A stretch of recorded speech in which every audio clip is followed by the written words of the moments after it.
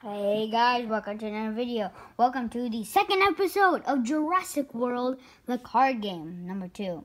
So, if you're watching this episode and you've not watched the first episode of Jurassic World, the card game, which is uploaded the same day, you should check that out first because you might not really understand what's happening. So what's happened is the Corythosaurus actually beat the Prionsuchus, and there's the first battle going on. So out comes the Pelican Apteryx right now, over here, which can kill the Corythosaurus in one hit because the Prionsuchus had actually hit the Corythosaurus for one.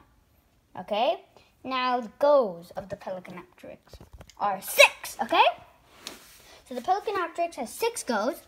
I'm pretty sure Corythosaurus only had one block. Okay, so let's do this, Pelican Apteryx. Can you defeat the Corythosaurus? In, okay, it got six. One, two, three, four, five, six. Oh god, it didn't do anything. Pelican Apteryx, really?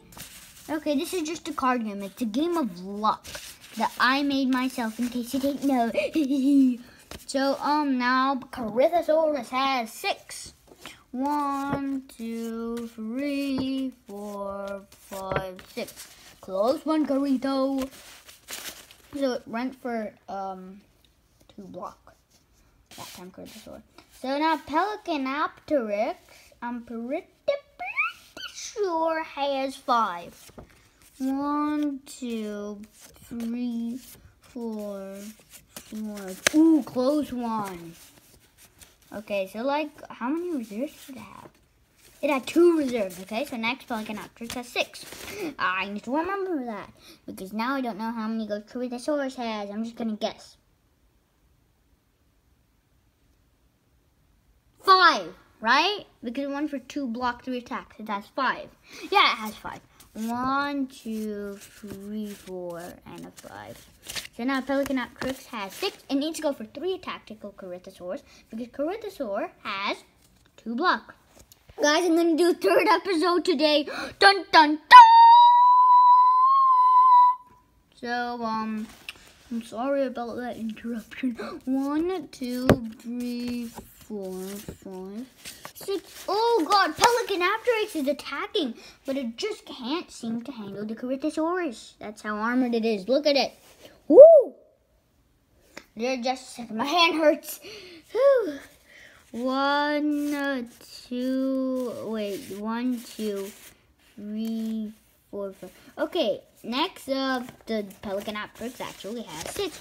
So, now Corythosaur has four, okay? One, two, three, four. Next go, remember, it has five. And wow, Pelican is not attacking. Now Pelican Apteryx is four. One, two, three, four. Remember, next go, Pelican has six. Here's the pile of guards, by the way. Okay, so now the five of Corythosaur. One, two, three, four, five. Oh my god, Corythosaurus keeps on going for three attack. Awesome, awesome. So there's 3,002, Corythosaurus does 3,200 damage to Pelican leaving Pelican with 6,600 health. Woo! Okay. Um, now Pelican has got to go for at least one attack. Come on, two. Oh, there, there's the two. One, two, three, four, five, six. Okay. So Pelican Apteryx takes down the Corythosaur. Whap. Anyway, uh, oh man, this one's hot. Whew. So um, I'm gonna make a um episode three. And this really, this phone is steaming hot. Oh god, I need to leave this phone. Whew, okay, uh, bye bye.